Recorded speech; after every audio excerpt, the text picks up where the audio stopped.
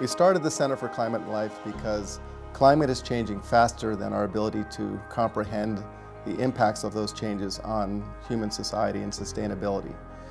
The whole idea of the center is to mobilize our scientists to understand how climate impacts the things that really matter to people, their access to food, to water, to shelter, and to come up with sustainable energy solutions.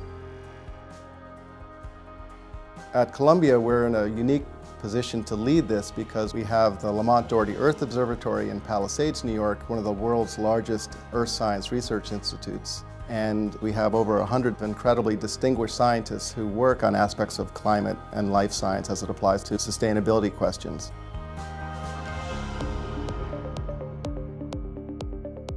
We have a location in New York City that gives us access to the business and finance leaders in the world that will allow us to use this information to bring on real change.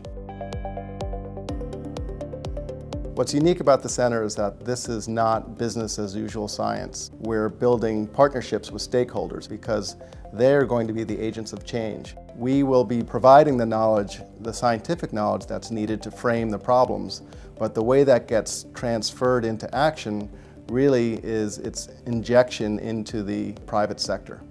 The real advantage of the Center for Climate and Life is that we have a large team of research scientists who can focus their talents to understand how climate impacts the things that really matter to people.